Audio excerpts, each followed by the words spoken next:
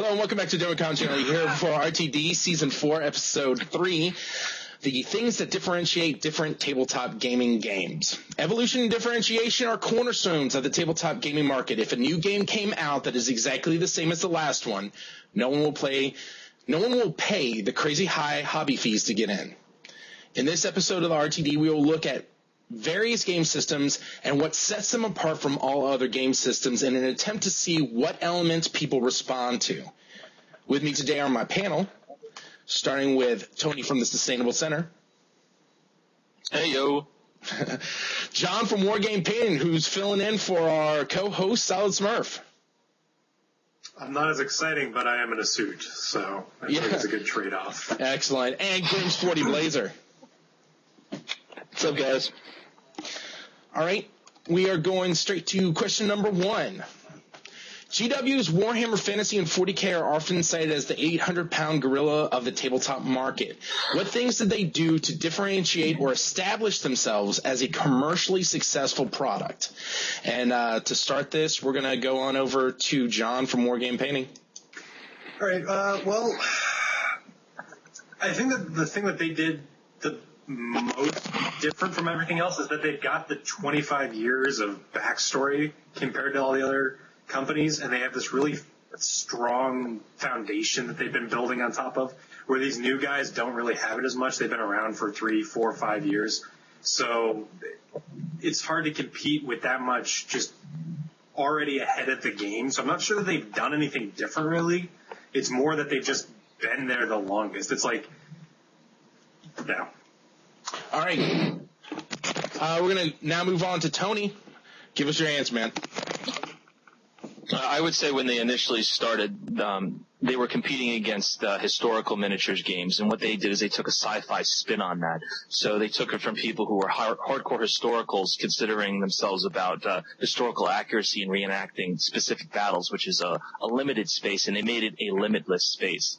Uh, the one great thing about Games Workshop's products is they offer a wide diversity of opportunities to create any fluff and background and story and army within that specific force set. Uh, unlike, you know, in Warmachine, you know, Cygnar's blue. And it's really hard to justify painting them purple or pink. Whereas if you play Dark Eldar, you can you can make them whatever you want. You can make them any any Kabalite that you want. So I think that creating that open platform uh, and also differentiating themselves initially from uh, the historicals was the big things that initially uh, set them apart from competitors. Being the first also helps. And uh, Grim Blazer. Yeah, I'm I'm actually going to expound a little bit on Tony. Um, just the ease of the customization of the products and the push to personalize it for each individual to make it their own, um, I think is a big differentiator. Instead of trying to copy whatever historical format was for historical wargaming, or if it's like a fantasy game trying to get the exact colors that you see in, in their rule book for a different game, you can personalize it, and GW pushes that, and it apply and it appeals to a lot of people.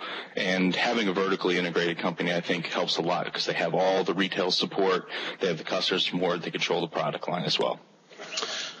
Uh, I kind of agree with everything that uh, both Tony and Grim said. The if if you look historically, you go to the historicals, then you start having this D and D campaign idea notion of chainmail early on with Gary Gygax, and all of a sudden, boom, you have Warhammer. And um, where they really kind of excelled was the notion of expanding on really really large fantasy, either science fiction or traditional fantasy type uh, genre and the customization. Um, any further discussion? All right, here we go. being as Oh, go ahead, go ahead, go ahead, John. all right, being as I'm the youngest on the panel, I guess I don't really have uh, the background to pick up on it. I mean, I've I've never seen anybody in my generation even pick up a historical game. I mean, there's Flames of War, but really, again, my generation doesn't really pick it up. So my background perspective is a little bit off compared to you guys. Not calling you guys old, but so so for so, We so all use me- walkers when we come to the table. It's all good. So for me, uh, the the thing is, it, it was just that they were the first on the market. I mean, and listening to your arguments, I have to agree with all three of you and say that it was the the, just the defining factor of here's something new. So All right. And, I, I think uh, their capture rate is, is I was sorry, just going to add something a little No, no, no, Tony, jump in. I, I think their Okay, I think their capture rate is phenomenal. I don't think any of us could have said that we play the other games we play because we started with them.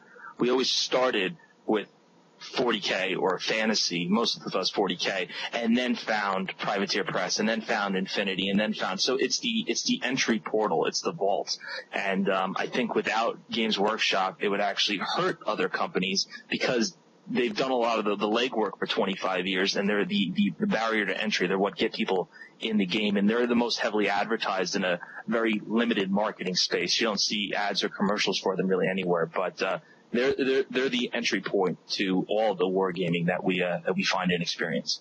I would agree. I would agree that from a science fiction and fantasy perspective, that is truly probably the case. Uh, but I do think we do have some converts from historical and modern gaming as well as RPGs. Grims, you got anything else to throw in there? No. All right. Words. Question number two: What things differentiate and draw people to the Privateer Press stable of games such as Warmachine and Hordes? And for this, we're actually going to start with Tony from the Sustainable Center. Uh, I think what draws them to it is the, the rage that they experience by playing a, a Games Workshop product, either upsetment with the rules or their inability to, uh, to, to play models that they want and be competitive and not get blasted off the table or to not find out when their new army book gets released that half the stuff they own is completely crap. Uh, if you play Tyranids, you would you would know what that feeling is like. Um, so I, I, think that's the, uh, the, the main element that, that that makes people want to go to these other games. Uh, some people do stick with you know 40k and fantasy, but I, I think that's the main barrier entry is, is, frustration and wanting a change. All right, Grims, what's your thoughts? Being the Tyranid player in the group. Yeah, I was just my heart just dropped.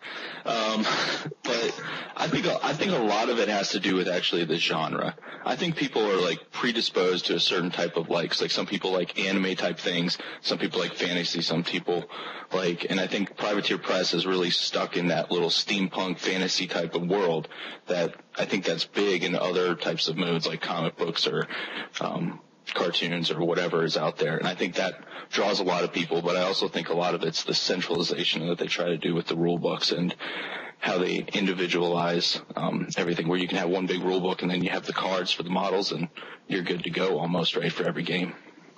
Very, very true. John, what's your thoughts? Well, I actually had this conversation today at uh, Genericon with a group of people who were looking over my game system, and we were talking about it. it was it's really based on time, simplicity of picking it up, and the fact that we don't have to deal with as many models. Like with Privateer Press, you can get an army of like three, four figures on the table and still feel satisfied that you're doing stuff with them. If you tried to run a 40k game with three or four guys, you'd be like, this is, there's no point to playing this. I can play checkers. But with Warmachine and Hordes, it's each model does something so cool, or they have so much life, or you know whatever with the jacks that you still feel like that accomplishment for having an epic game with so few guys that you don't have to invest a ton of money, you don't have to invest a ton of time. And that's what we came up with today, and I, I agree with that. Uh, for me, what I see people saying about privateer press games is that there's a consistent notion of balance between armies, not only between versions of the game, but updates to the game between the separate armies. Um, it, it it lowers the the knowledge you need to have in order to build up a, a realistic army. It doesn't have to be A, B, and C. Uh, and this is accomplished because you're using two dice instead of one, which allows a bell-shaped curve to the thing. So there's there's a better expectation of knowing ahead of time what your individual models can actually do once you've played it a few times. The other thing that I think differentiates them a great deal is the notion that um, they have, again, with that balanced, consistent rule that isn't limited it doesn't limit people's ability to just go crazy with the customization of the models. While it doesn't seem to be as as as big a thing as as what would occur in a 40k army, the outcome of any kind of uh, customization, whether or not you pick a huge banner on a model or whatever, um, the rules actually uh, handle that based solely on base size. So the questions in the game aren't there. The game is a little bit more friendly because of that, because there's no real questions on the rules. Uh, further discussion. I think that that that's an issue actually with uh, with privateer press because again they because they control they, they create a finite bubble. So your casters are all named they can only do certain things. Where in games workshop's products yeah the named characters have become more prevalent in the past few years and a lot of people take them. But on the same token you can take just generic people and give them war gear and therefore it makes the game infinitely more complex and more difficult to control the outcome and make it a balanced and fair game. So i think GW trades for an open platform balance for where Privateer Press has a more defined platform and they, they achieve more balance. But having that open platform and that creativity, I think, is something that sells to people because if I'm going to spend this much money, I want to feel the ability that I can create my own world, create my own army and paint it and play it the way I want other than playing this named character or these few named characters and these few named jacks constantly. I understand, but I'm actually not talking from the game perspective. I'm talking from the hobby perspective. The way that the rules are actually defined in the privateer press products means that you are not limited at all. You do not either create an unfair advantage or disadvantage no matter how much you want to personalize your model. Stick your warcaster on top of a, a post that's eight feet tall if you want. It doesn't change the rules governing that particular model because he's on a base that's this size. Any other further discussion? Well, I feel like 40K can get that in there too. I mean, I, I don't like to think that I'm a fanboy. I still think it's a fun game, but I mean, if you, well, for example, I mean, I've got this right here. I finally got the desire to build this one again, but it's, it's super high up there. I mean, that's just detrimental to me. I mean, so usually Games Workshop punishes that thing, but if you want to do it to make it look cool, I mean, it's a disadvantage more than anything else. So I feel like the eight feet tall thing, you could get away with it in 40K, but it's going to be detrimental to you, whereas in Privateer Press, it's not. Well, so, well, and that's actually what I'm saying. That, argument. that the, the hobbyists aren't bound by the rules. Um, Greg, any other thoughts there? Well, I think that goes to like the core issue. I feel like Privateer Press press is like looked at their games rules and the game system a lot more than how their models interact with the game. I think they've they've taken the core system of rules and then they found models that apply to it. You know, they've tried to make great models to go with the game. Um, Games Workshop, I feel, is almost hobby first, and then the rules are a bit more of an afterthought. And I think that goes to why people play a lot more, or, or at least, or at least trying out these other systems because they want to play a fun game. And now I feel like the barriers to making great models is coming down a lot. Excellent last thought. I mean, oh. I'm sorry, John. well, you, guy, speak up, man. The guy, I was speaking up. No, but the uh, the guys that I was talking to at Gen Con, they were really smart, and they said that if you're developing a game start with a blank base. And if you can make a game that can be run with a bunch of guys playing with checker pieces, that's going to be an awesome game. And I think that's what Privateer Press did. I think that they decided, what can we do with blank bases? And then they went in and said, okay, now let's put something on top of the bases. And I, I think Grim said it exactly right. GW is like, let's make the most awesome looking guy that we can, except for like the new stuff, because I'm not a big fan of the wolves, but the, the Trygon. Let's make a Trygon. It's awesome. It's big. It's scary, and now let's write rules for it. And I think they do that with the fluff too, but that's a, that's another issue. All right. Moving on to question number three. What things define and differentiate a game like Flames of War? That's question number three. For this, we're going to start with who haven't we started with? Grims. Go ahead. right. So I think that I think the big thing about Flames of War is it itches the, those people out there that love historical war games. And they're obviously, I don't think they're, you know, necessarily like my age and younger. I'm 28. I'll put that out there. But, you know, I think it hits those, those, those people that definitely love historical wargaming. And it's got a simplified rule set. If, if anybody had played like the older historical wargaming, my goodness, the rules were off the charts. I don't even think a D&D rule book was large enough to fit all of it. but it, it definitely was they had they had rules for everything and everything down to the last guy. And I think that that makes a, a big difference for people that really want to play Flames of War. They want a simple game, but it itches that historical genre. John, what's your thoughts? Well, I've never actually played Flames of War. Uh, I've seen it played though, and I've heard people talk about it. So um, I feel like it, it really is that kind of it's the new age um, military based like historical games that people can get behind if they if they're into that. I mean, um, it's not really particularly big around me. I, I think I've seen one person ever buy something for it and never even like really played it. And I don't know if any of my game stores actually have Flames of War Night.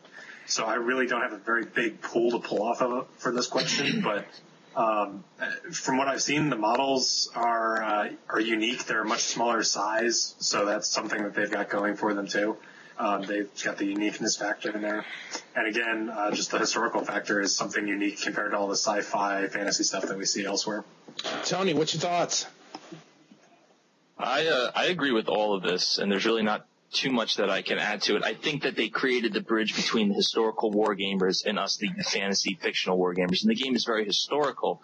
Uh, however, yet it, it, brings the simplicity of, of, game structure and game mechanics. But there's still a big differentiation. You're playing with units on a single base, a very tiny single base. The scale is greatly reduced. So it's complete change where somebody looking at playing, am I going to play Infinity or Privateer Press or GW?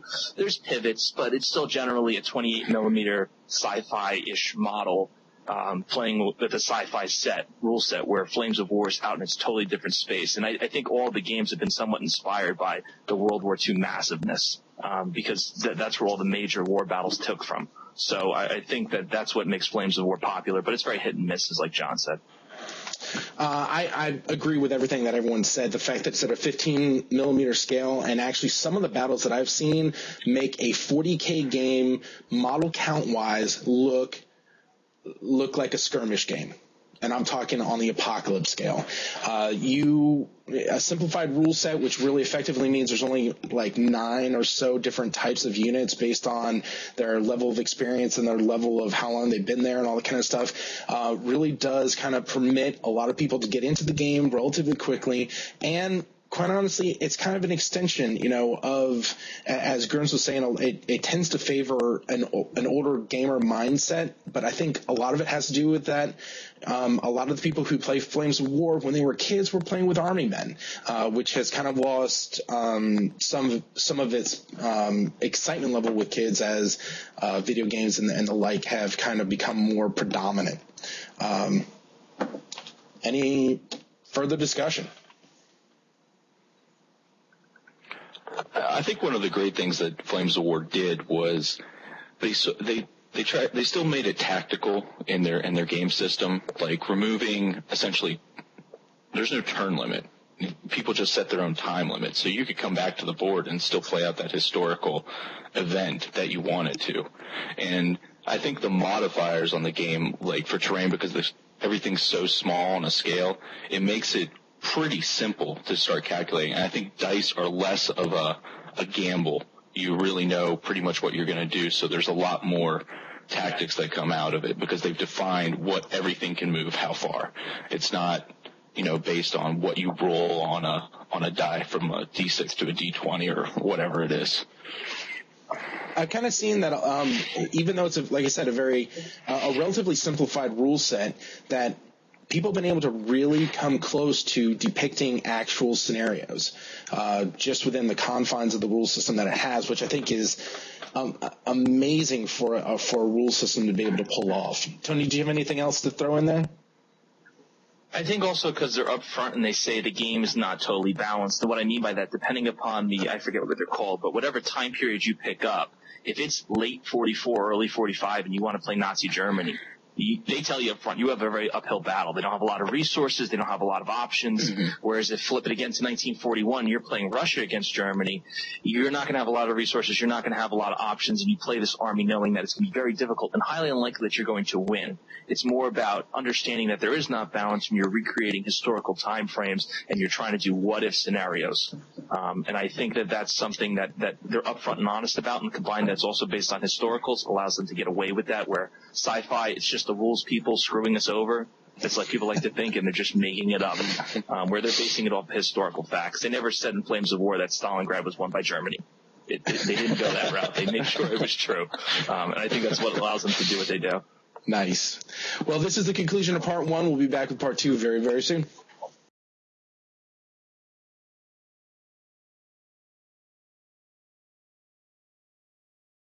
Game came out that is its exact. Uh, I'm gonna need to restart. Hold on. What things differentiate and draw people to the Privateer Press stable of?